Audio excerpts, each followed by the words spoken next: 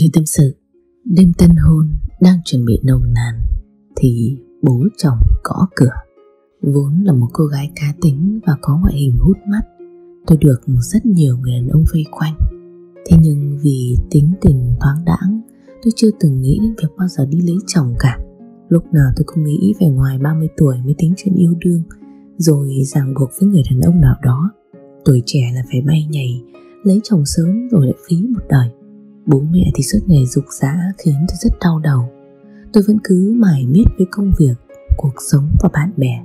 Dù nhiều người đã yên bề xa thất Đàn ông theo đuổi tôi nhiều quá không được thì cuối cùng cũng phải rút lui hết. Tôi vẫn coi đó là những mối quan hệ tốt của mình. Không hề có ý ghét bỏ hay là khó chịu khi họ tán tỉnh mình một chút nào. Con gái lớn lại có ngoại hình xinh xắn và công việc ổn định. Bố mẹ nào cũng mong con sớm kiếm được cho mình tấm chồng như ý. Có lẽ vì tôi mãi chưa đưa người yêu về nhà ra mắt, Nên bố mẹ tính mai mối cho tôi. Tự nhiên bố tôi nói rằng, Bố có người bạn lâu năm, Con trai đi du học nước ngoài về. Công việc rất tốt, Đẹp trai, muốn giới thiệu với tôi. Ban đầu thì tôi nhất định từ chối, Nhưng bố cứ nài nỉ đi gặp người ta một lần không ưng thì thôi, Nên tôi cũng đành vì bố mà nhận lời. Lần đầu gặp người đàn ông ấy tôi bất ngờ bởi vì anh ta thực sự trẻ, đẹp trai và lịch lãm vô cùng. Bố anh ấy cũng đi cùng. Sau khi hai bên gia đình nói chuyện, có vẻ cả hai đã lấy được cảm tình của người lớn. Bố tôi rất ưng ý chàng trai đó, còn tôi thì được bố của bạn kia chấm điểm 10. Thực sự thì bản thân tôi cũng thấy mình có nhiều ưu điểm. Nhưng đứng trước người đàn ông đó tôi lại thấy có mình một chút kém cạnh. Anh đi du học nước ngoài có công việc rất tốt và ngoại hình bắt mắt. Vậy thì bao nhiêu cô gái khác cũng khao khát có được anh đấy chứ? Hơn nữa gia đình anh lại rất giàu có. Bố mẹ tôi có nói là vì bản thân lâu năm cũng muốn mai mối, chứ nếu không thì cơ hội không đến lượt tôi đâu. Hơn nữa bố của anh kia còn muốn tìm một người con dâu đã quen biết. Ông chỉ có một người con trai, không muốn các cô gái khác yêu con mình vì tiền. Ông luôn cảnh giác với các mối quan hệ của con ở bên ngoài. Thấy ấn tượng với anh, Tôi cũng đã gật đầu đồng ý thử bắt đầu mối quan hệ. Lần đầu hẹn hò cà phê thật là ngại ngùng. Đúng là cảm giác từ trước đến nay chưa bao giờ có. Có lẽ tôi quá ấn tượng với anh Nên cảm thấy run sẩy và bối rối. Anh nói chuyện rất có duyên, Tỏ ra rất hiểu biết và hài hước, Nhưng không hề khoe mẽ. Sự giản dị của anh khiến tôi cảm thấy vô cùng thích thú và rồi sau hơn 3 tháng hẹn hò nói chuyện, Chúng tôi thực sự có cảm tình với đối phương. Anh thẳng thắn nói tôi rất xinh, Có công việc ổn định, Lại là người mà bố anh ưng ý Nên cũng muốn tiến xa hơn. Hai đứa hãy cứ cưới nhau rồi tìm hiểu dần. Xã hội bây giờ hiện đại, Nhiều cặp đôi cứ cưới rồi mới tìm hiểu cũng chẳng sao. Và lại tôi và anh đều có độ tin cậy nhất định. Chẳng hiểu sao tôi lại đồng ý ngay những lời đề nghị của anh. Nói đúng hơn là tôi đã yêu anh ngay từ lần gặp đầu tiên và rất sợ người đàn bà khác có được anh. Chúng tôi nhanh chóng tổ chức đám cưới trước sự chứng kiến của hai bên gia đình. Quan khách đến rất đông. Đám cưới tổ chức hoành tráng ở một khách sạn hạng sang. Gia đình anh có thừa điều kiện để biến chúng tôi thành cặp dâu rẻ lộng lẫy và rực rỡ nhất. Tôi được nhà chồng trao cho rất nhiều vàng bạc. Bố mẹ tôi cũng lo cho con gái rất nhiều của hồi môn nhìn ánh mắt hạnh phúc của ông bà. Thực sự tôi chỉ còn có thể cảm thấy hài lòng và hạnh phúc. Tôi luôn sống trong cảm giác may mắn vì gặp được anh và được lấy anh làm chồng. Tôi tự nhủ cả đời bên anh sẽ sống thật vui vẻ và hạnh phúc. Nhưng đúng cái đêm tân hôn, đã có một việc động trời xảy ra.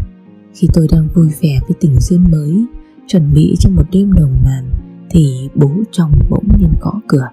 Lúc này chồng tôi đang trong nhà tắm. Ông kể cho tôi nghe về ước nguyện đời mình Và được nhìn thấy con trai lấy vợ, Lấy một người mà ông tin tưởng.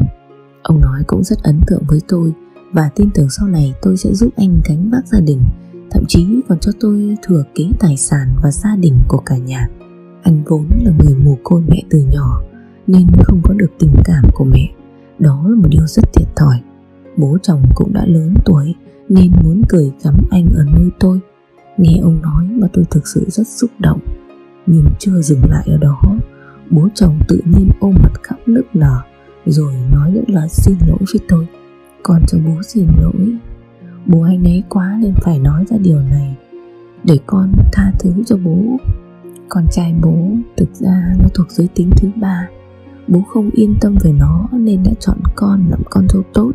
Câu nói này của bố làm tôi bàng hoàng, Run rợ, Nước mắt của tôi bắt đầu tứa ra. Bố thực sự thấy mình quá ích kỷ, Nhưng chỉ có con thôi. Chỉ con mới khiến bố yên tâm con ạ. À. Bố sẽ trao lại rất nhiều tài sản cho con. Sau này con lo cho chồng con Và đừng tiết lộ điều này với ai. Hãy để nó được sống cuộc đời tự do Như những gì nó muốn Và con cũng vậy. Chỉ xin con hãy giữ danh nghĩa vợ chồng Để bố được an lòng Nếu có nhắm mắt xuôi tay đi với mẹ con.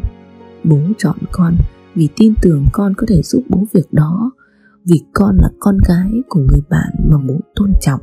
Tôi quá sốc, không thể nào đứng dậy để bỏ ra ngoài chạy đi được. Lúc này anh cũng từ nhà tắm bước ra, Nhìn hai bố con khóc, Anh đã hiểu mọi chuyện. Anh tiến lại gần nắm lấy tay tôi, Cũng nói những lời xin lỗi. Anh cho tôi quyền quyết định ngay lúc này Nếu như tôi từ bỏ Anh cũng chấp nhận Còn không thì từ nay tôi sẽ sống trên danh nghĩa vợ chồng Còn hai người mặc nhau thích làm gì thì làm anh cũng ưng ý nuôi con riêng của tôi nếu tôi có bầu bên ngoài và đưa về nhà. Anh nguyện sẽ là bố của những đứa trẻ. Thực sự tôi quá hoang mang, bỏ ngay lúc này thì đương nhiên không thể. Nhưng sống cùng với anh, tôi biết đối diện thế nào. Hạnh phúc cả đời tôi sao lại mang ra để trao đổi như vậy? Sao cuộc đời lại bất công đến thế? Lên tương sự, tặc lưỡi lấy chồng U50, đêm tân hôn ôm nhau, mặt biếng người. Tôi ly hôn cũng đã được 3 năm Hiện tại 36 tuổi Đang nuôi một cô con gái nhỏ Phụ nữ một đời chồng lại cũng chẳng phải quá xinh đẹp hay giàu có Muốn tìm được một người đàn ông gia cảnh không quá phức tạp Yêu thương con riêng của vợ thực sự cũng rất khó sau khi tìm hiểu nhiều người, Cuối cùng thì tôi quyết định nên duyên với anh Hoàng. Anh ấy năm nay 47 Cũng U50 rồi nhưng chưa kết hôn lần nào. Anh là người chăm chỉ làm lụng, cũng không có thói hư tật xấu gì, tính tình cũng khá hiền lành. Về chuyện tới tuổi này vẫn chưa kết hôn, thì anh ấy giải thích là do anh ấy lười và ngại lấy vợ. Qua mấy tháng tìm hiểu, thấy anh cũng không đến nỗi nào. Bố mẹ thì dục dã, nên tôi tặc lưỡi quyết định cưới hoàng chưa kết hôn bao giờ, sẽ không có chuyện vợ cũ con riêng. Hiện tại chỉ còn mẹ hoàng đã già yếu, gia cảnh của bà cũng chẳng đến nỗi khó khăn. Nói chung điều kiện của anh ấy khá ổn với tôi, cứ kén chọn mãi cũng không phải là một cách hay. Rồi chúng tôi cũng tổ chức một đám cưới nhỏ gọn và ấm cúng trong sự chúc phúc của đôi bên gia đình và bạn bè. Chúng tôi cũng đã từng qua đêm với nhau trước đám cưới. Chuyện thầm kín giữa hai vợ chồng cũng bình thường, không có gì đáng nói đêm tân hôn đứa nào đứa đấy đều mệt nên bảo nhau chẳng làm ăn gì, cứ ôm nhau rồi mà ngủ thôi. Hai vợ chồng đang trò chuyện, tôi giật nảy người khi nghe được những âm thanh lạ phát ra dưới gầm giường. Nói chính xác hơn là những tiếng rất nhạy cảm của phụ nữ. Nhìn sang hoàng anh tái mặt lắp bắp không nói lên lời những âm thanh nhạy cảm ấy vẫn vang lên khiến tôi không thể chịu nổi, vội lao xuống soi vào gầm giường tìm kiếm. Để rồi tôi hét lạc giọng khi thấy rõ một người phụ nữ đang nằm trong đó. Tôi định lao ra ngoài làm ầm lên, thì hoàng kéo tay tôi lại, giải thích rõ đầu đuôi. Lúc này soi kỹ thì tôi mới phát hiện ra đó không phải là người thật, mà là một con búp bê để thỏa mãn những nhu cầu của anh.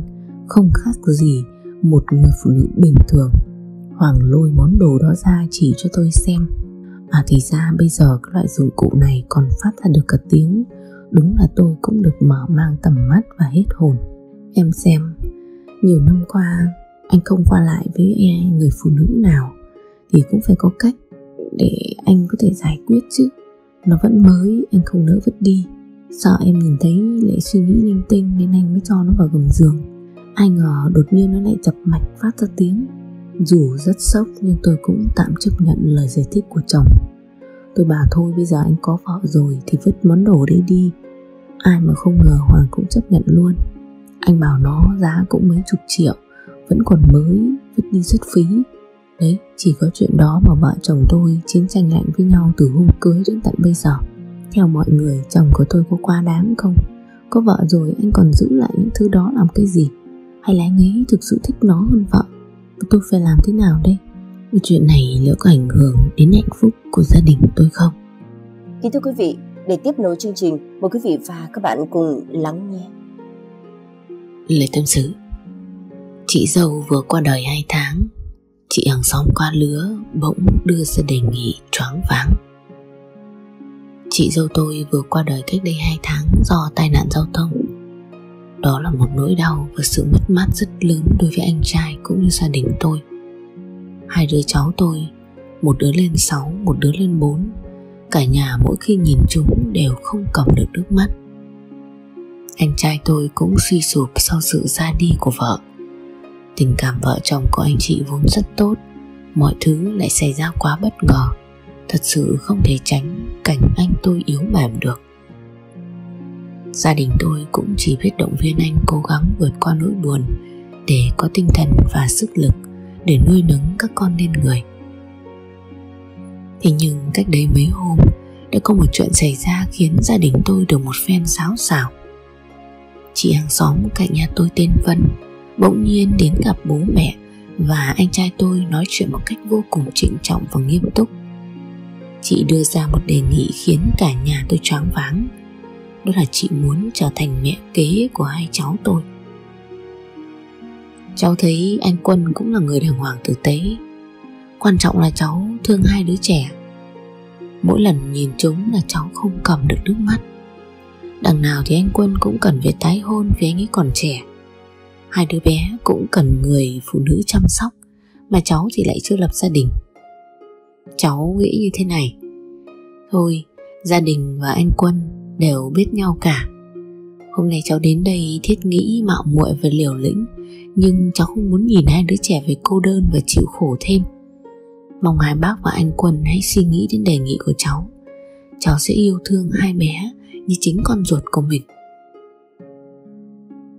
sau đó chị Vân còn tiết lộ trước đây chị từng yêu một người đàn ông sâu đậm, thậm chí có tính cả đến chuyện đám cưới.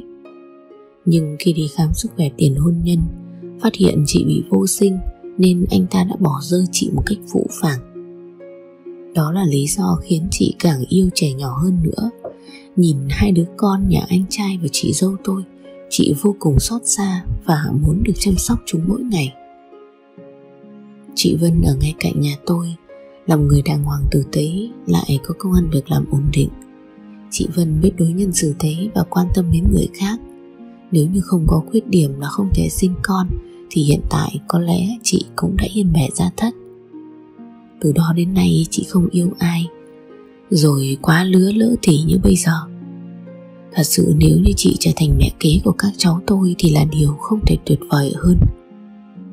Những ngày qua chị thường xuyên qua lại chơi với hai đứa cháu của tôi, Còn đón chúng về bên nhà chị ấy chơi nữa. Lúc đó tôi chỉ nghĩ chị quý mến chúng thông thường. Ai ngờ chị lại ôm ấp ý định trở thành mẹ kế của hai đứa trẻ. Việc chị chủ động tiến cử bản thân quả thật khiến nhà tôi sốc nặng. Bố mẹ và anh tôi sau phút choán ván ban đầu, Sau đó ai cũng đều mềm lòng trước lời đề nghị của chị. Cơ bản là chị Vân cũng chẳng có điểm nào để chê cả. Chị lại không thể sinh con, Nên sau này cũng không cần lo lắng Chuyện các cháu tôi phải thiệt thòi. Nhưng lời đề nghị ấy quá đột ngột, Nên gia đình tôi vẫn chưa thể đưa ra được câu trả lời chính xác. Khi chị Vân về rồi, Bố mẹ tôi có hỏi ý kiến anh trai, Thì anh im lặng không đáp. Nhìn thái độ của anh thì biết rõ là anh đã xuôi lòng. Thấy anh có thể vực lại được tinh thần, Tôi cũng rất mừng. Thế nhưng vừa nói đến chuyện lấy vợ bây giờ, Đối với anh tôi dường như vẫn còn hơi sớm. Chị dâu vừa mới mất chưa được 2 tháng, Mà anh tôi đã vội vàng làm quen với người phụ nữ khác. Chẳng biết gia đình bên nhà chị ấy sẽ nghĩ gì về anh tôi nữa. Nhưng nếu như trường hợp cự tuyệt chị Vân bây giờ, Thì sợ sau này anh tôi không tìm được người phụ nữ phù hợp như chị ấy nữa. Gia đình tôi phải quyết định thế nào đây? Hạnh phúc của anh tôi, nhưng ai cũng mong cả gia đình được hạnh phúc. Thời lượng của video đến đây đã hết rồi quý vị cùng bớt chút thời gian đọc và nhấn nút yêu thích để đăng ký kênh ủng hộ và cũng là động lực cho đội ngũ biên tập có thêm nhiều video hay và bổ ích hơn nữa. Còn bây giờ, xin chào và hẹn gặp lại trong những video tiếp theo